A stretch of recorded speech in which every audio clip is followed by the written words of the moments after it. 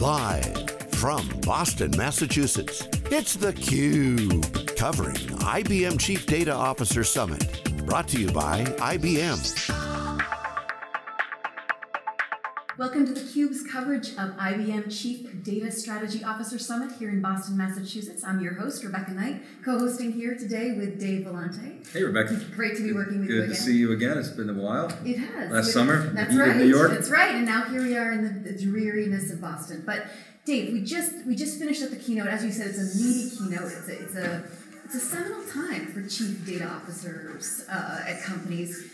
What, what did you hear? What, what most interested you about what Joe Kavanaugh said? Well, a couple things. Uh, I think it's worthwhile going back a few years. Uh, the ascendancy of the chief data officer as a role and a title kind of emerged from the back office records management you know, side of the house, and it really started in in, in regulated industries, financial services, healthcare, uh, and government.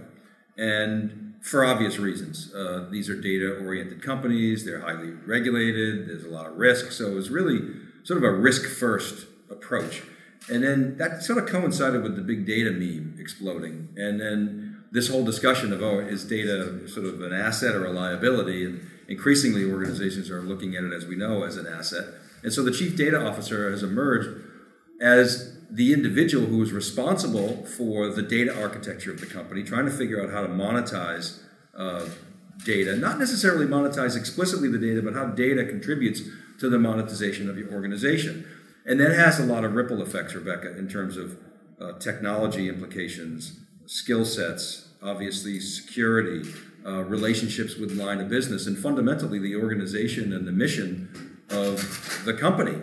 Uh, and so IBM has been uh, pretty leading and aggressive about going after the chief data officer role. Uh, and has events like this, the Chief Data Officer Summit. They, they do them kind of signature moments and these little intimate events. I don't know how many people you think are here. Maybe 150, I think. 150? Okay. And they're the data-rati of the Boston like it. I like community.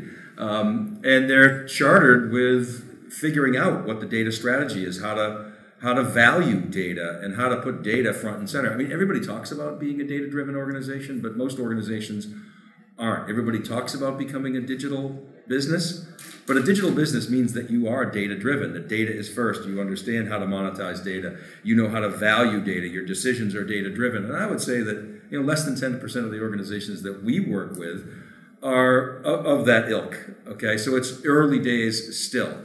Um, what was interesting about what Jim Kavanaugh said is they put forth this cognitive blueprint that Inderpal Bhandari, who will be on the cube later, um, kind of envisioned and has brought to life in his two years as the chief data officer here at, IBM.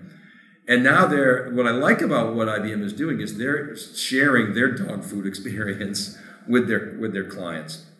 Uh, he talked about that enterprise blueprint architecture, but he also talked about what IBM is doing to transform. So James Kavanaugh is the senior vice president of transformation at IBM. He works directly for Ginny Rometty, uh, and he's fundamentally talked about uh, IBM is an organization that is sort of data first, uh, uh, cloud, and consumerization was the other big trend. Now, I don't know if IBM's you know hit on all three of those yet, but they're certainly you know working to get there. Uh, the other thing that was interesting is they talked about the data warehouse as you know the former king, and now process is king.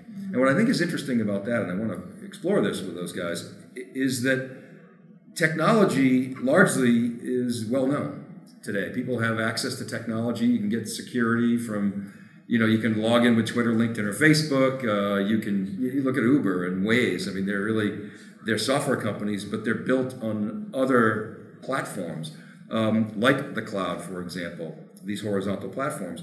It's the processes that are new and unknown you know, when you look at these emerging companies like Airbnb and Uber and Waze and so forth, the processes by which consumers interact uh, with businesses are totally changed.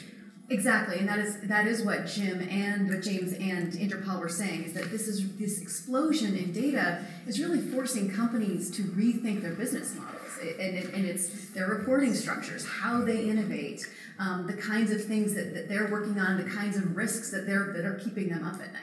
Yeah, so uh, uh, Kavanaugh cited a study for 4,000 CXOs, and they said the number one factor impacting business sustainability in the next whatever five years is, are technology related.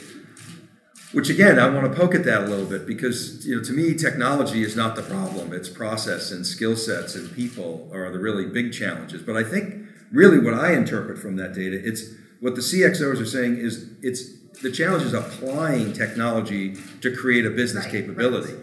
That involves all the process changes, the organizational changes, the the people and skill set set issues.